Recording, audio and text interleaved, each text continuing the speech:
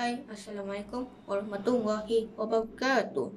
Nama saya Hanan Yudi Bedro Haizai. Saya sekolah kebangsaan saya sekolah sekolah kebangsaan Sungai Ramadalan. Saya berumur 11 tahun. Saya ingin bercerita pengalaman saya dan keluarga saya bercuti di Tokyo, Jepun.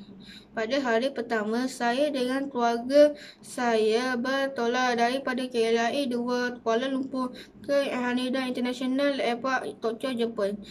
Kami menaiki pesawat AirAsia. Penerbangan itu mengambil sekurang-kurangnya 6 jam.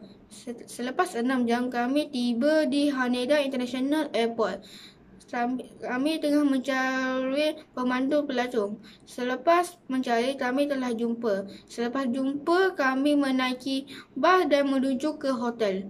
Pada hari kedua pula, saya, saya dan keluarga saya pergi tempat paling menarik, menarik sekali di Tokyo Jepun. Seperti Tokyo Tower, Odaiba, Shibuya Crossing dan mana-mana paling tempat menarik sekali. Selepas itu, saya makan tengah hari dengan keluarga saya di Diversity. Selepas makan tengah hari, pada waktu zuhur, saya dengan keluarga saya solat solat di masjid yang paling bagi saya paling cantik lah Masya Allah.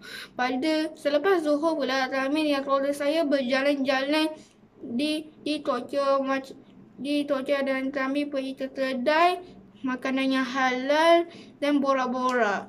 Dan selepas itu, pada waktu malam pula, saya dengan keluarga saya makan di Wagyu Wagyu Yakiniku, Yakiniku iaitu barbecue.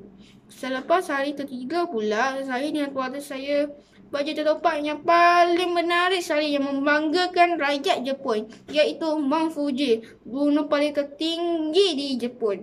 Saya memang tengok Masya Allah Subhanallah. Cantik betul pengalaman dia. Selepas itu, saya dan keluarga saya makan tengah hari di halal bento, iaitu, iaitu jenama makanan halal. Selepas itu, hari keempat pula, iaitu hari bagi saya santai-santai lah. Hari itu ramai saya dan keluarga saya pergi Disneyland, pergi kedai yang makanan yang halal, pergi mana-mana paling tempat lah macam Ya macam tu ya. Pada hari kelima pula saya dan keluarga saya mengemas beg untuk pergi untuk pulang ke ke KLIA 2. Sebelum itu saya dan keluarga saya pergi ke tempat paling menarik sekali dan kami pergi ke kedai untuk membeli barang-barang nak bagi tak kawan saya, saudara saya dan cikgu-cikgu. Selepas itu kami pun tiba di Haneda International Airport. Selepas itu kami ambil gambar-gambar di Haneda International Airport untuk selepas tu. Selepas tu kami pulanglah ke ke KLIA 2. Hari ke-6 kami tiba di KLIA 2 Kuala Lumpur. Itulah cerita pengalaman saya dan keluarga saya bercuti di Tokyo, Jepun. Sekian wahibafi wahidaya. Wassalamualaikum warahmatullahi wabarakatuh. 叫